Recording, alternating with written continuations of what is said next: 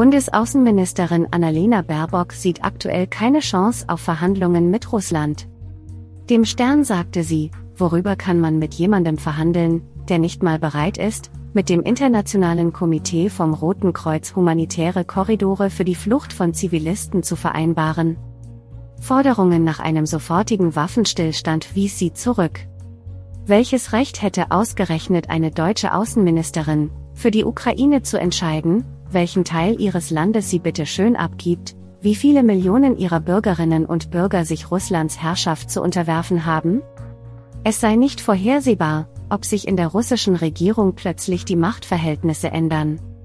Autokratien können Zustimmung erpressen, aber sie können nicht verhindern, dass die Elite das Land verlässt, sagte Baerbock. Putin opfert sein eigenes Land. Ich frage mich, wie lange das so gehen kann.